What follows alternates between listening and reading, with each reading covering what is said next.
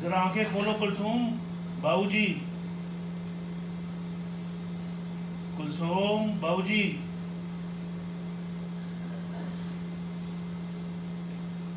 अल्लाह आपको सेहत दे, अल्लाह ताला आपको तंदुरुस्ती दे।